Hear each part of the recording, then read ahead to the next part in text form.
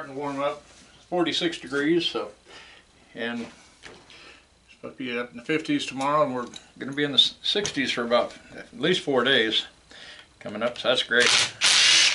So things are thawing out. It's a muddy mess out there. And that ice, freezing rain coming down, and that stuff melts slow and it soaks in good. So yeah, the road, this gravel road's pretty more of a mud road right now. And Oreo, why are you right at my feet?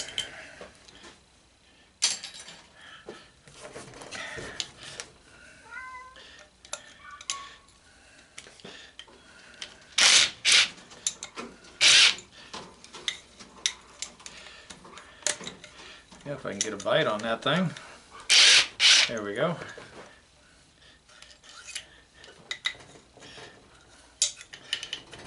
Yeah, I thought I'd tear the motor down today. I still got quite a few of them on the floor to get done.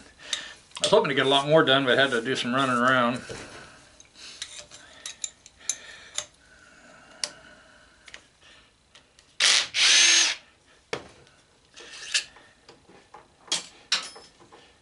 Got a plug drain I've been working on. I thought it was froze up for a while because we had all that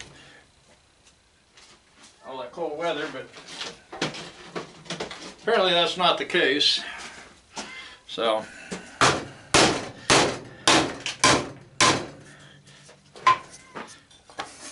a lot of times it's easier just to drive that shaft and it'll drive that air off.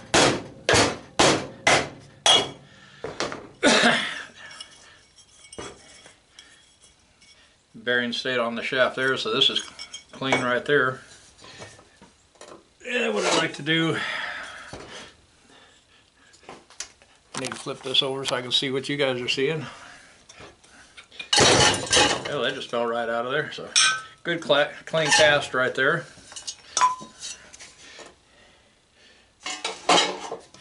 This one will go in short iron.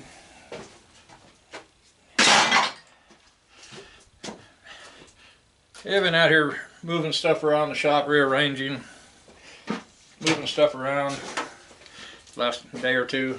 It's getting warm enough to get out here now. Okay, I'm gonna kick in the angle grinder so it might get a little noisy guys. So if you got earbuds in, turn your volume down or pull your earbuds.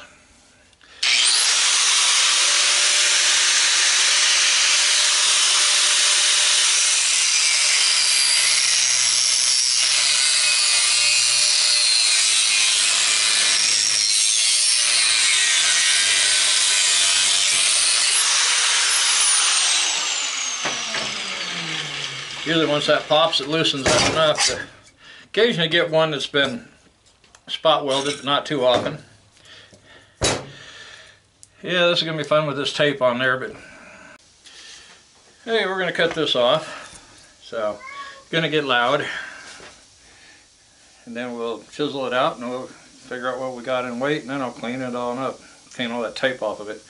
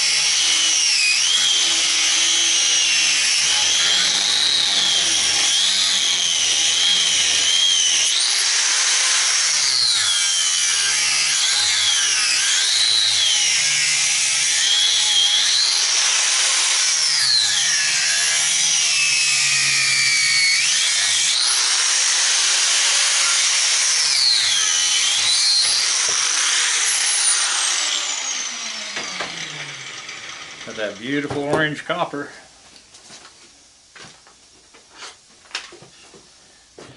Yeah, from here what I do, I get all these little plastic pieces off of here.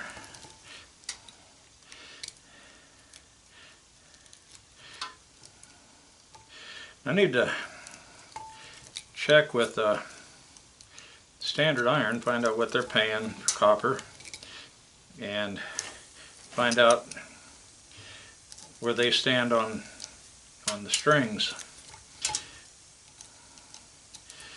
Now Metal Check, they don't like the strings. If you got, and even these, if I pull them out and some of the plastic sleeves are melted to them, they try to pay me insulated copper prices.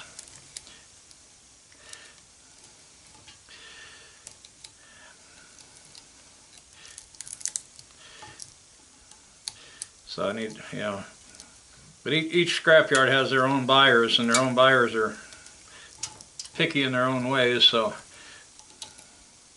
some scrapyards they don't say a thing about having the strings on the electric motors. I've seen pictures of people taking them to the scrapyard in Gaylord boxes, you know, and all the strings be on there, and the yards don't say a thing. So. Just certain yards. Okay, so now, now we'll get it out of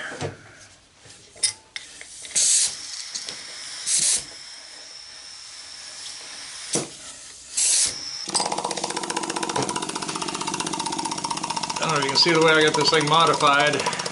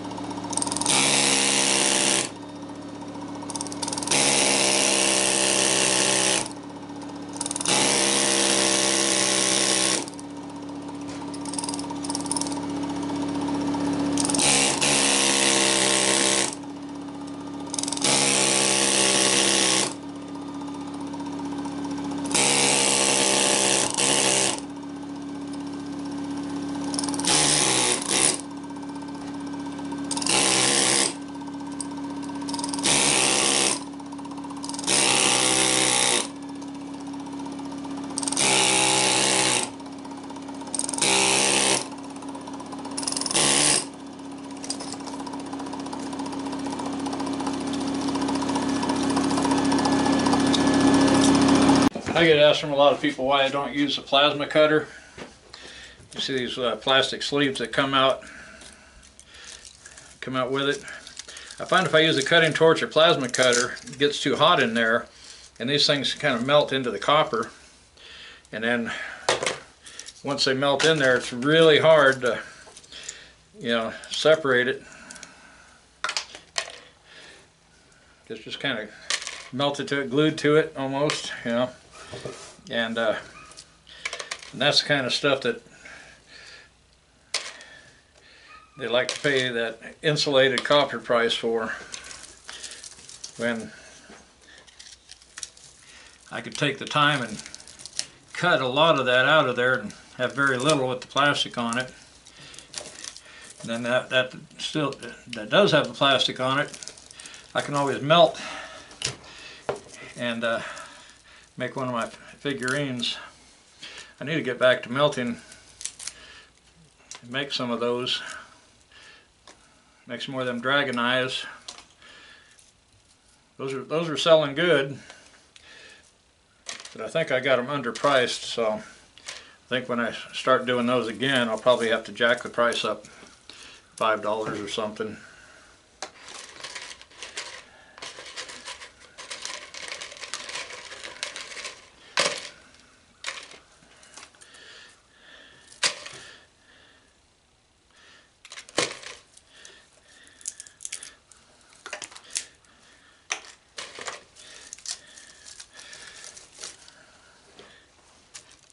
A lot of these strings they come off pretty easy, but you get some they got so much shellac or whatever they put on these things.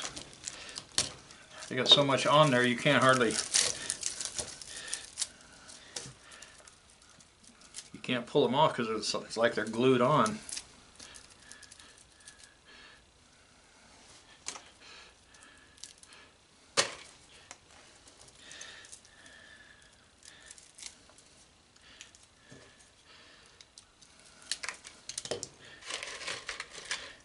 String goes right in there.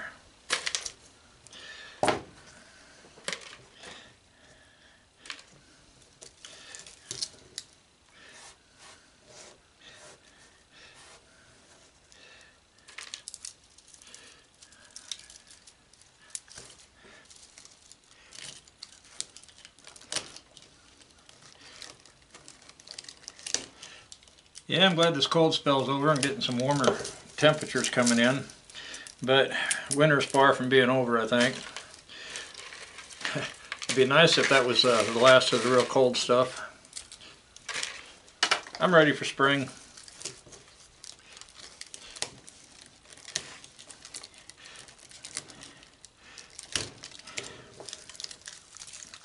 Trying to get things squared away where I can start working on some of these boat motors.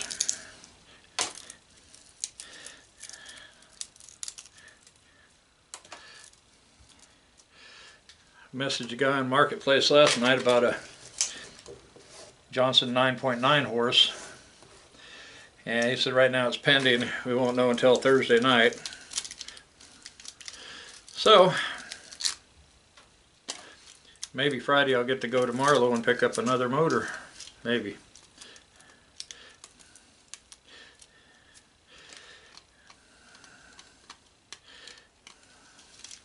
Kind of trying to stick with nine nines and down even though I did pick up a 20 horse the other day for parts. So when I get the other room straightened out if I ever get it straightened out I'm going to try to start tearing, taking a few of these motors apart and get them, get the parts pieces cleaned up tested. If there's a way to test them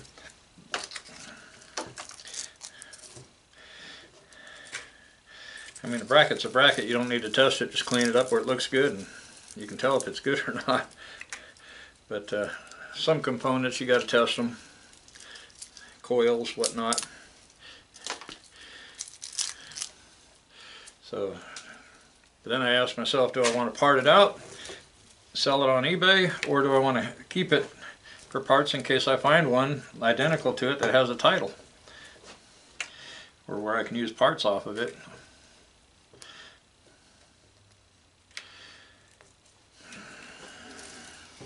Because I could probably put a 20 horse on that uh, 14 foot boat I've got. Of course I wouldn't want to be changing it out too much. Yeah, what I'd probably have to do, I'd probably have to put, figure out a place I could put a hoist and then uh, just hoist it up.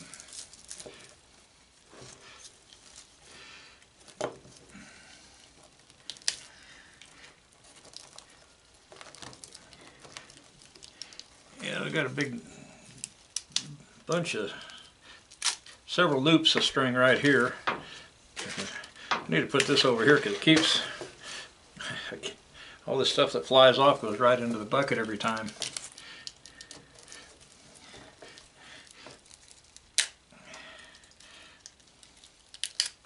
Okay, this looks clean.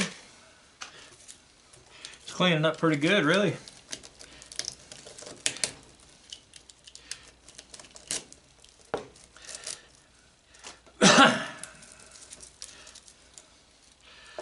Yeah, I've been fighting this one drain out here. It's snake I got is 25 foot. I ran it all the way in from my little service port that I put in out here. And I'm still not getting to the problem area. That drain only runs to, uh, I think the kitchen sink and the uh, wash machine. I think that's all that's on that drain. Like I said, at first we thought it was just froze up, but it's still acting up. My wife tried to do some laundry today and filled up both kitchen sinks. So when the wash machine started draining out. So that didn't work. I'm trying to run it down where the wash machine is. I get down about six foot and then, you know, spinning the thing and then I can't pull it out. It's caught up on something. So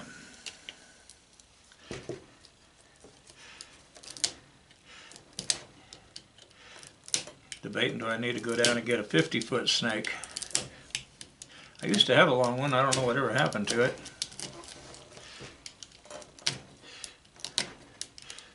Probably got kinked up and rusty and everything and I probably scrapped it.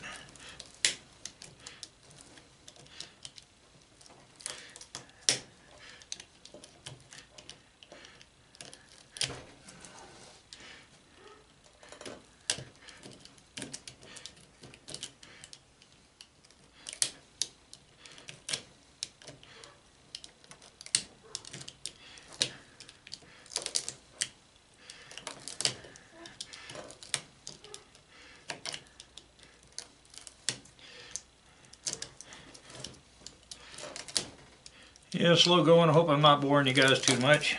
Just getting these strings cut. Yeah, they take time.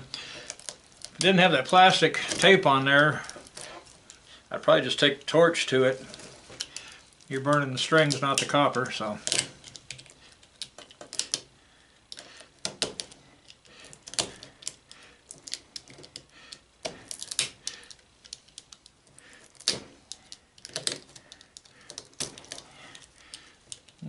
We're there. This last spot. It's got a cluster of them. Okay.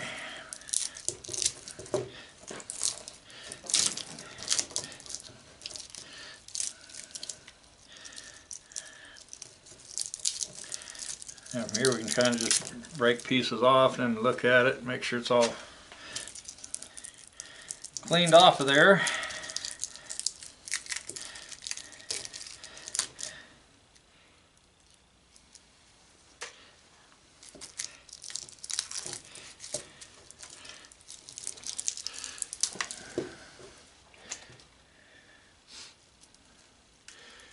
Yeah, been doing some electrical work out here and just moving stuff around a little bit.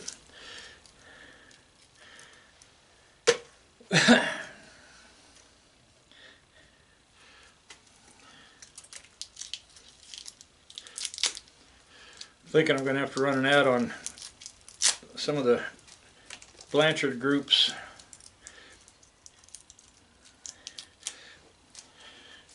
which I've got my little Oh, OEC ad running, but I've got got a few calls off of that. Seems like I'm mainly getting wash or dish yeah, refrigerators off of that thing though.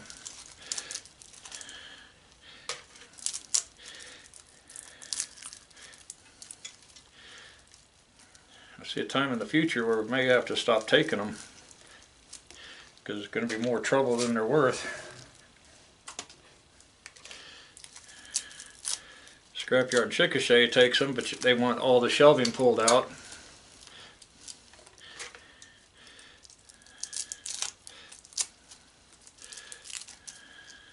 Some yards just won't take them at all.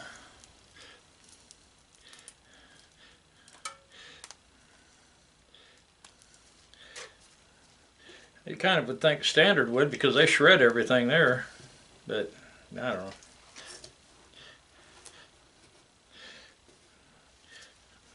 They might be watched closer there too, I don't know.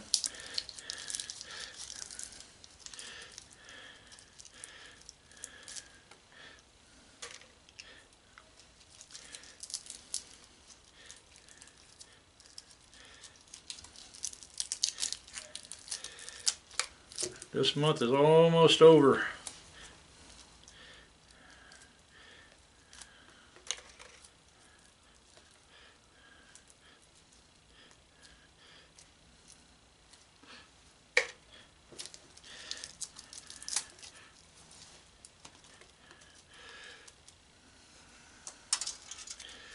Yeah, there's a bunch of stuff I was planning on getting done today. Yeah. A lot of it's not happening. Day's almost over. Of course, I might come back out here after I ate dinner. Come out back out for another hour.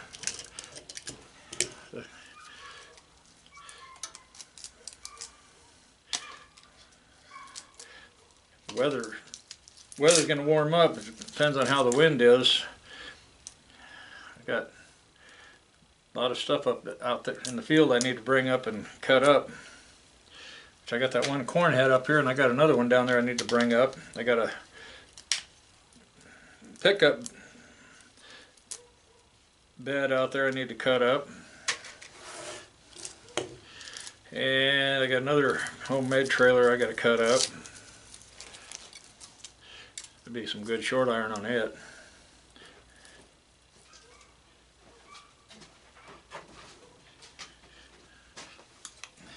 Okay, I'm going to set this over on the scale and see what kind of weight we got.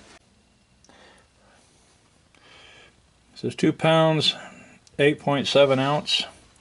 Now this bucket weighs 3 point something. So I might as well say 2 pounds, 5 ounces. So maybe two and a quarter pounds. So a little over six bucks. Not too bad out of one little motor.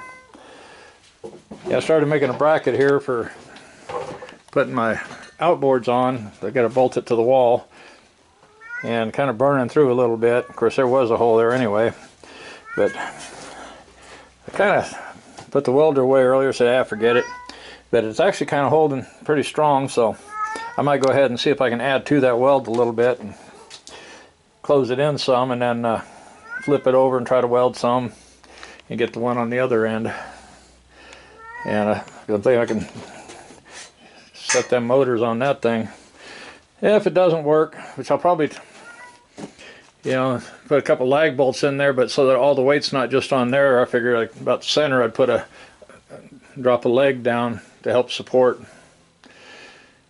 So you have to get a plate of steel or something, but it might hold because I'm going to maybe six outboards and like I said, I'm trying to stay under 10 horse, so still it's going to be a lot of weight.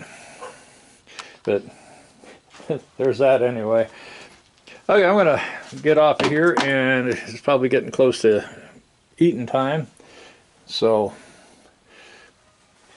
and then I want to get some of that chemical, make some foam balls, and get them out there in the dumpster before garbage day. So we'll see you guys in the next video. So happy scrapping, and you guys take care. Bye-bye.